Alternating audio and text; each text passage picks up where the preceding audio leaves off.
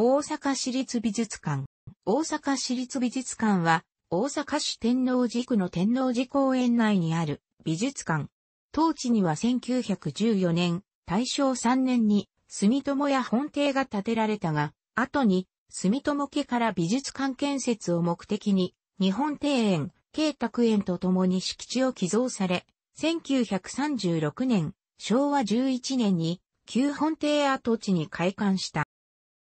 本館は伊藤正文と宇長上誠一によって設計された。1927年、昭和2年12月から建設に着手したが、世界恐慌の影響で工事が中断したこともあり、10年近くの歳月を費やして1936年、昭和11年月に完成した。鉄骨鉄筋コンクリート構造の地下1階、地上3階、東野1階付けにして、建築面積は4033平方メートル、延べ床面積は12716平方メートルである。太平洋戦争突入後の1942年、昭和17年には陸軍に接収され、戦争末期には校舎第三師団司令部が置かれた。1945年、昭和20年から1947年、昭和22年までは占領軍が接収したため活動休止を余儀なくされた。美術館に併設している美術研究所は1946年、昭和21年に創設され、素描、絵画、調査の実技研究を行っている。同研究所からは、白髪和夫、吉原英雄、村岡三郎など多くの作家を輩出してきた。また、美術館友の会も組織されており、日曜洋画会などの活動を行っている。1992年、平成4年には公募展などの増加に対応するため、複数の美術団体展を閉鎖できる地下展覧会室4室が増築された。2015年、平成27年には美術館の建物が国の登録有形文化財に登録された。大阪市立美術品の所蔵品には個人コレクションの寄贈、または購入によるものが多い。市による購入のほか、主に大阪市民などのコレクターの寄付で8000点を超える収蔵品が形成されてきた。仏教美術、エトルリアなど地中海文明の美術、充実した中国の絵画や書、日本の江戸期、明治以降の絵画、他近郊、執行、当時など貴重な工芸品を数多く有する東洋美術の宝庫である。代表的なものに中国書画の安倍コレクション、中国石仏の山口コレクション、日本の蒔絵、根付け、印籠等のカザールコレクション、日本古美術の多万コレクションなどがある。また、展示品の中には、大阪府を中心とした近畿地区の社寺からの帰宅品もある。日本の国公立美術館の中でも歴史は古く、美術団体展や大規模企画展の貸し会場となるだけではなくコレクションを地常設展示をする意向が当初からあった。以上の重要文化財は、大阪市、大阪府所有物件のみ。他に、寺院、神社などからの帰宅品が多数ある。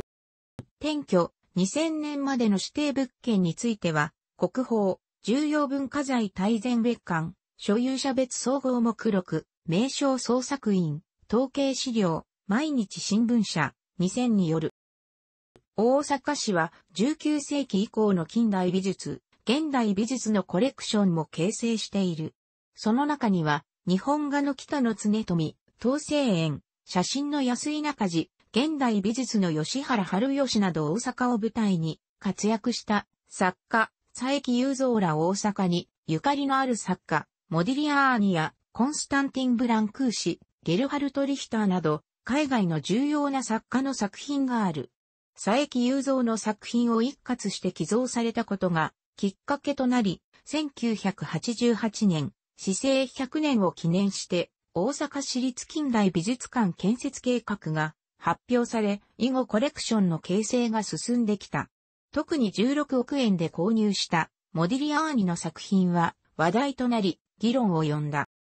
当初から大阪市立近代美術館の建設用地は中之島にある国立国際美術館北隣の大阪大学医学部跡地に絞られていた。1998年には、近代美術館基本計画委員会が、近代美術館基本計画の答申をこう、延べ床面積2万4000平方メートルの建物を、敷地面積1万6900平方メートルの土地に整備費280億円で建設する計画を発表。しかし、予定地から蔵屋敷跡が発掘されたことに加え、市が財政難に陥り建設費約280億円が捻出できず、計画は凍結状態となった。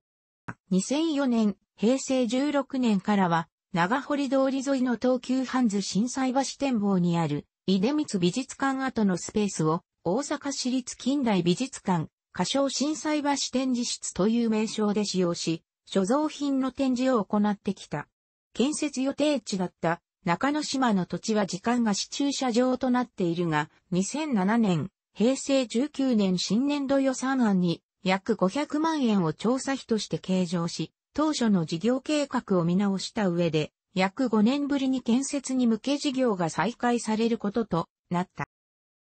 2010年には、近代美術館あり方検討委員会が設置され、翌2011年には、大阪市立近代美術館整備計画案が発表され、1998年の答申より規模は縮小されることになった。2012年11月25日には大阪市立近代美術館、歌唱震災橋展示室は閉館している。2013年には大阪市の戦略会議が中野市前の新たな美術館の建設を決定し、その中で天王寺の市立美術館を中野島の新美術館に統合して古代から現代までを扱う総合美術館とすることも検討され、後に美術館の統合は行わず経営のみを統合することとなったが、この過程で新しい美術館の建設準備室は、近代美術館建設準備室から大阪新美術館建設準備室へと名称を変更していた。2016年8月には大阪新美術館の建築設計協議を実施し、2017年2月9日、集まった案の中から遠藤勝彦建築研究所の設計案を最優秀案とし、設計と建設を開始した。2018年には美術館名称の公募を実施し、10月18日に屋形名を大阪中之島美術館と決定し、11月1日から同美術館準備室となっている。楽しくご覧になりましたら、購読と良いです。クリックしてください。